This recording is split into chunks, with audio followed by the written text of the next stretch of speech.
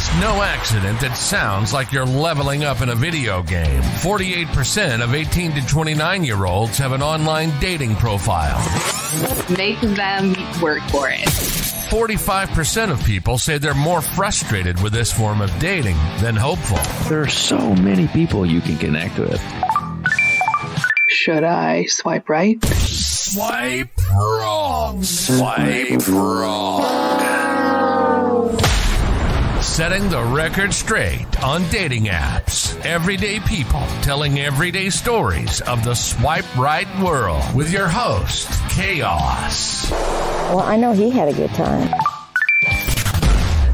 Good morning, good afternoon, good evening, or even good night, just depending on when you're catching up on the podcast. Welcome to the Swipe Wrong podcast. Uh, you guys uh, all know by now it is the number one podcast among females 29 to 29 and a half in Wichita County. So, true or not true, I'm not sure, but I'm Chaos. How you guys doing so far? You enjoy everything that, uh, that you're hearing and hopefully just understanding as we talk about, uh, you're not the only ones that are going through the uh, craziness of the dating scene and and hopefully uh, you're like yeah okay cool there's just there's a lot of crazy that's out there and I don't have to worry about it all on my own so as we're as we're between seasons and working on things uh you know uh I know Jay popped on and uh, told you guys his favorite episode, and now it's time for my favorite episode. And I, you know, I, this was tough for me at first. I had one in mind, and then I was like, no, no, I think I'm gonna go to a different one. It was it was hard. I loved I loved my conversation with my sister and date like a dude. I loved that one. That was my that's what I thought was my favorite. But the more I got to it and the more I thought about it, I was like, this is just an unbelievable story. Like if if I didn't know the guy and it was just some random person I'd be like, "You're fucking with me." There is no way this is this is something that actually happened to somebody, uh, and so I'm gonna go with the uh, with Gone Catfishing as as my favorite episode, uh, just because the story, like I said, the story, it, the fact that it it spans over a couple of years and it's just so coincidental that uh, well if you haven't heard it i guess i should shut up. I'm sure you have but in case you haven't I'm going to be quiet and, and just let you guys listen. Uh, but as we're working on, we've got a couple episodes, uh, pretty close to in the can for, uh, the next season. Uh, so if you do want to share yours, uh, you guys know, uh, how to get a hold of us. Swipe wrong pod at Gmail. There's a phone number. You know, we have it all. at the end of the episode, you'll hear it. So, but, yeah, like I loved, everybody I talked to. I mean, it was just like, to me, it was one of the most fascinating things just to hear. Cause like, think about it. Like the, most of the stuff that I hear from people is dating's changed so much than it did 10 years ago. And, you know, there's the, you're only as, as, uh, you have so many options. Uh, like the, the, one of the best analogies I think we put out there is it's fast food dating. I mean, it's just like you go up, there's a menu and you kind of go from there and, you know, loyalty isn't as much as it used to be, it seems like, but there's still so many success stories, which, you know, we need, maybe need to do a better job of incorporating as well.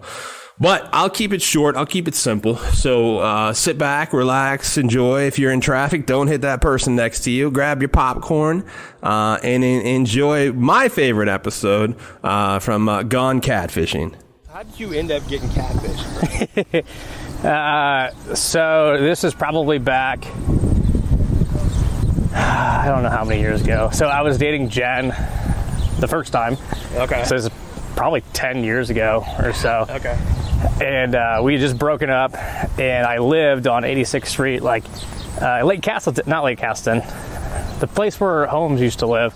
Oh, I know. You're across from the old Fox and the Hound. Yeah, yeah, literally across Yeah, the street. that's Castleton. So like my, Castleton my move. Yeah. yeah, yeah. But um, so my move was to get girls go there. You know, it'd be easy to go home. Straight from the Fox and the Hound, right? Yeah. yeah. So I like I literally back then I didn't like. Uh, I would drink a lot more than I used to, so I'm like, I don't like to drink and drive, so I would, I'd always walk home, you know. So I'm like, it's perfect for me because if it works out, it works out. If it doesn't, eh, no, no big deal. I just walk home. It's across the street, you know.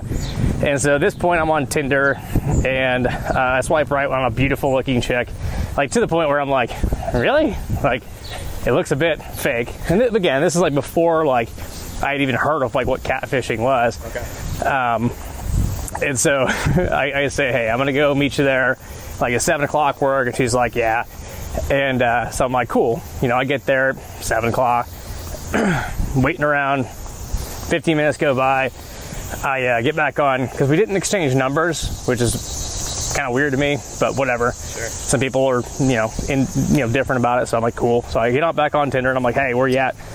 Uh, I've been waiting here, you know. And biggest pet peeve of mine is for like someone to be like really late to a date. So I'm annoyed, you know. so I'm waiting, and she's like, "Oh, I'm sorry, I'm on 465 right now. There's a lot of traffic," and I'm like, "Okay, cool, whatever." Right. And uh, so I get a beer, you know, I'm just chilling there. 30 minutes goes by, and I'm like, "Okay, what the hell? You, you know, like, Yeah. why are you this late? Traffic's not that bad. It's seven o'clock, 7:30 now." And she's like, "I'm so sorry." She's like, "I had to stop and get gas. Like, give me another like 30 minutes, and I'll be there." And I was like, "An hour?" And I'm like, "No, you know, like not gonna happen." So like at this point, like I'm cashing out, and I'm like, I'm I'm leaving. Like, nice talking to you, but this is not my my thing. Like, I would just never do that to somebody, you know. Sure. I'd cancel before I tell them to wait somewhere for an hour. She Francisco, you. Yeah. I guess so. Yeah, yeah. But um, so I leave, and as I leave, uh, like I'm walking back, she's like, "I'm at the bar. Where are you at?" And I'm like, "What? What is going on?" And so turn around because I'm in the parking lot, you know, walking back, and I go sit down at the bar. There's not a single girl in this bar. Because it's Fox and the Hound, they closed for a reason. You know, like no one was there. There was like three guys, you, you know, and there three guys, like old guys, like sitting at the bar. Um, I don't know if I, nah, probably didn't notice the dude, but uh, I think, well, I'll, I'll just tell a story. So I leave and I'm pissed because I'm like, all right, now I'm being fucked with, you know. So I'm like being like, you know, fuck you. Like I don't know what kind of game you're playing, but like this is bullshit. Like I don't treat people like this. I expect not to be treated like this. Next thing I know, give it like 30 minutes, I get probably 100 text messages from gay people What? Asking where they could meet me for like fellatio and shit like that. I'm not I'm not fucking joking, man. And so like okay, I'm gonna stop walking for a second. right. But yeah, like I was like flabbergasted. I'm like, what the fuck is going on? And you know, I, I was still friends with Jen after we broke up. So I, I kind of told her what was going on, and she's like, someone put your name on Craigslist or something.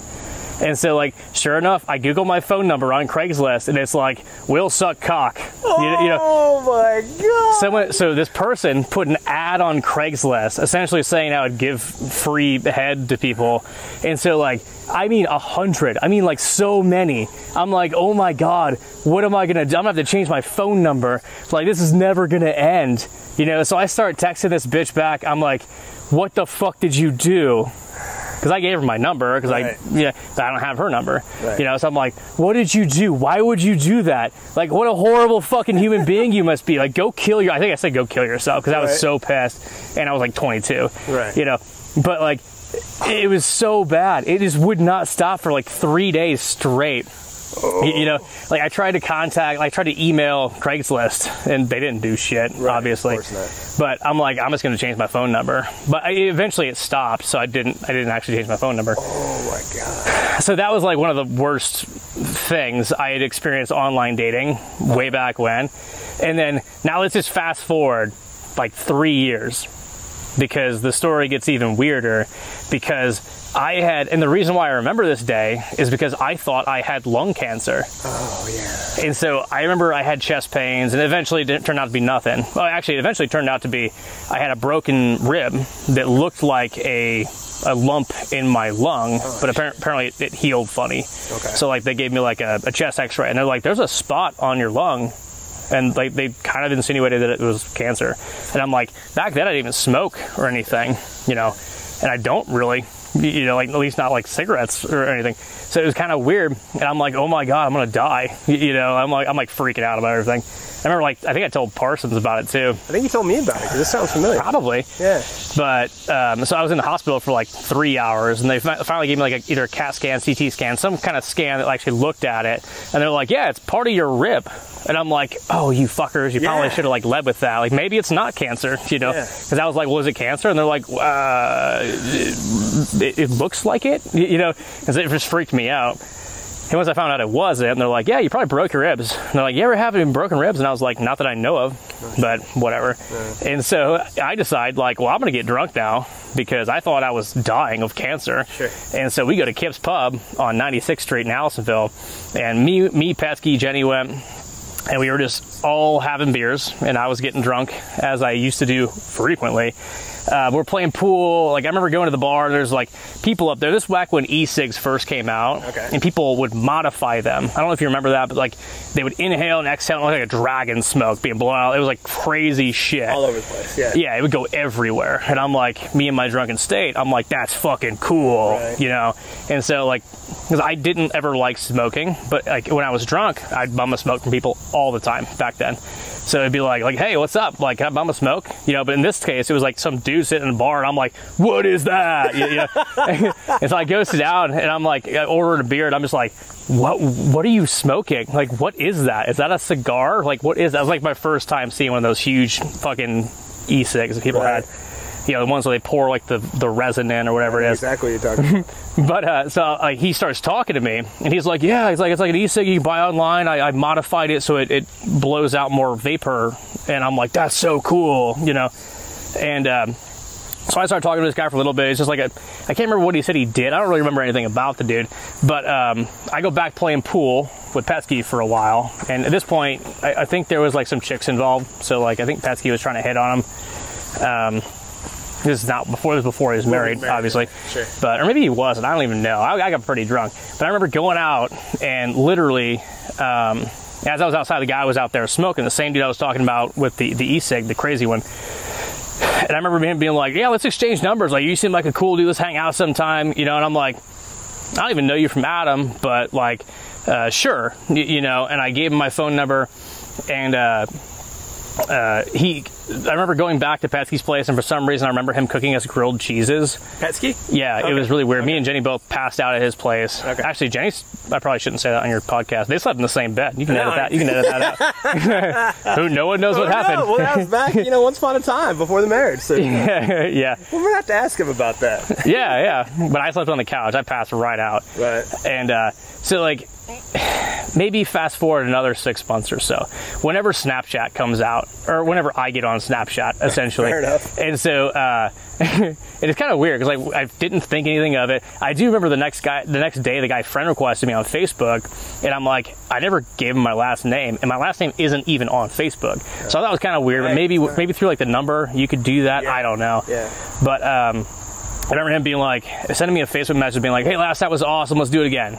You know, and I'm like, that's fucking weird. At this point, I'm like, all right, no. And I just blocked the dude. Yeah. And uh, so, anyways, fast forward again six months. And then Snapchat first comes out. And I'm like, cool, Snapchat, you know, awesome.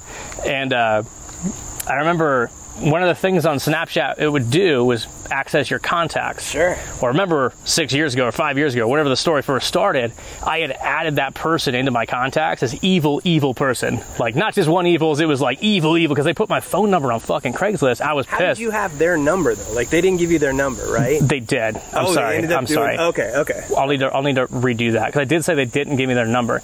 They did, but only after I bitched about it. Okay. So I did have a number. I'm sorry. Okay, that's cool. Um, it was saved in my phone as evil, evil person. And then what Snapchat does is it connects people. So Facebook friends with other things. And I, I did block the guy, but like it still had all my contacts there. And so guess whose face I saw on the. Snapchat the Snapchat thing is like people you may you may know.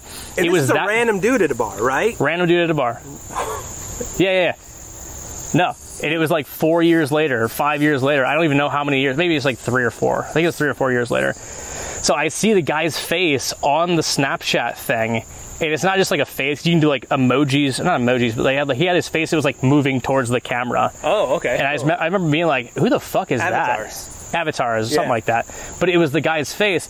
No, it wasn't an avatar. It was, was- a real it was picture of him. okay. Oh, That's how I knew. Okay. And so, like, I see the guy's picture on the Snapchat thing, and um, I'm like, oh no, you know, because at this point he was a Facebook friend. I blocked the guy, or maybe I didn't block him, but maybe I just like never responded to it. I think that's probably more likely. Right. I see it as is his picture and it says evil, evil person, and I just freaked the fuck out. You must have. Yeah. I said you must have flipped. I flipped out. I called Petsky. I called, and I never called Petsky, you know. But I'm like, dude, you will never believe what the fuck I just like just figured out. And I was like, that guy was the dude that I bitched about like three years ago, catfishing me. Oh my god. The dude's dead. But how how'd you find that out? Like, would you? Pesky, Pesky, Pesky, Pesky stalked the guy. Did he really? Because apparently they were, uh, he knew him on Facebook or something. I don't know. Because we all hung out. Like we were all like kind of hanging sure. out. We- I I don't know if he played pool, but he was like talking with us at one point. I wonder if he did the same thing to Pesky that it did, did to Maybe. as far as friend requesting. I don't know. I don't know. I just remember him being like, so I found the guy, Oh. and uh, he's like, by the way, he's dead. He died of a heart attack. Holy shit! but so Pesky went on the guy's Facebook, and apparently it was all about being like this lonely gay guy in Indianapolis, and he's like this fat dude, like. Yeah. So apparently, what he did was like make up shit, being a beautiful girl, and I think I really do believe he was one of the three guys was at the bar Bar. Because he said he was there. I You know, see where you're going with that. So when you went back, you looked around. There's no girls there. And it could've so I flip out. You, you know, I'm pissed. I'm like, all right, this bitch is fucking with me now. I think he was one of the guys at the bar, and maybe he was just trying to like, I don't know what he was trying to Think do. about that though too. Like if he was one of the guys at the bar, he was probably there the whole time. Like when you walked in, He the might have been. He might I don't know. Sitting there, watched you, ordered drinks, and then just, oh my god. Dude. But like, because the story spans years, and I, I, again, I, I'm so sorry that I deleted that like literally like a month ago or so. Oh but Oh my God. well, if I would have known you were doing the podcast, I would have No, saved it. no, that's you all know. right. But I- I'm like, it's time. you know, yeah, Because go. I, used to have it on there for dates when I want when I went on. I told the story, and I'm like, I know it sounds insane. and I know you probably don't believe me. Here's his picture, and here's the evil, person. And so I'd show them. They're like, holy shit. No you, you know. But yeah, man. And I'm like, I can't believe that fucking happened. I really can't. Un- like I've heard a lot of stories. I've talked to quite a few people. That might be the crazy. That is easily the craziest fucking story. Because it spans years, and I met the dude. Randomly. Yeah, randomly. just Yeah. randomly in the bar. Like there's like in that area, there's at least 15 to 20 bars in a half a mile Yes. radius, and you happen to be in, and he happened to be doing something crazy that made you go, huh? Let me talk to this guy. Yeah, yeah. Thank you for being along for the ride of the Swipe Wrong podcast, where we take everyday people like you and me telling their everyday stories of their swipe right life. Show is produced by Jay Pelham. He is the host of Pelham Place. If you want to reach out to the show and tell us your story, we'd love to hear it. Give us a call. Google Voice us at 317 426 6616. Leave your information and we'll get back to you or just your story. You can also email us at swipewrongpod at gmail.com. We are on Insta, Facebook, TikTok. We're out there. I am Chaos, the host of Chaotic Commentary. You can find me pretty much anywhere that you see me. And next week, the saga continues. Swipe wrong. Swipe wrong.